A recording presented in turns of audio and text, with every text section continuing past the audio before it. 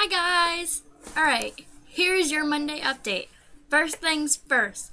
Most of last week there was nothing really going on except for me still going to the gym and stuff. I did have my personal training session on Wednesday.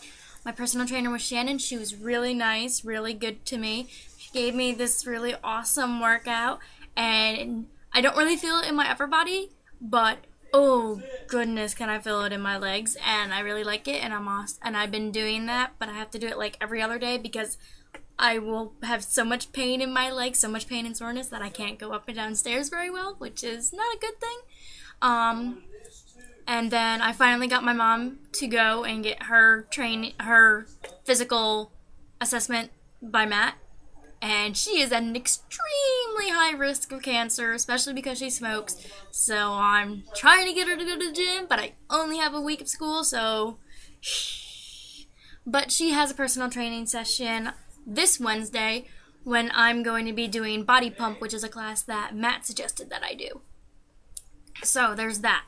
And then Friday was my brother's wedding, which was alright. I think I looked really good in my dress. I was happy. My hair was done. I had nice little curls. You'll see pictures on my Facebook or my Tumblr. Um, and it was alright. The food was okay. Um, the music was alright. It was just okay. It, it's a wedding. I see no point in weddings, so it was whatever.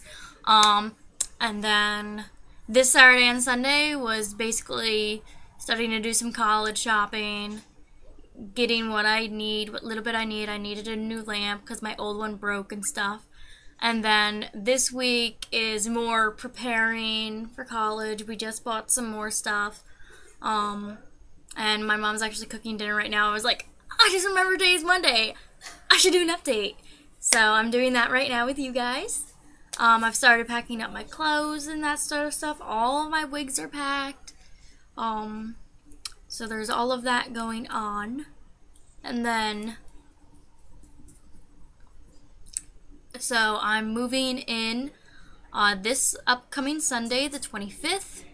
And there's really nothing else going on this weekend, or this week actually, at all, except for doing that. And for those of you that know about my newest obsession, welcome to Night Vale, the podcast from Commonplace Books. There is supposed to be a live showing or live something or another of Welcome to Night Vale in Brooklyn, New York. I believe it's October 10th, which is just like the Thursday right before my fall break. So I'm hoping to go because it's at 7:30, so I can just take the train into New York City from Philadelphia and go there. And then when it's over, I just take a taxi over to Grand Central and then I come on home and then I just miss classes on Friday.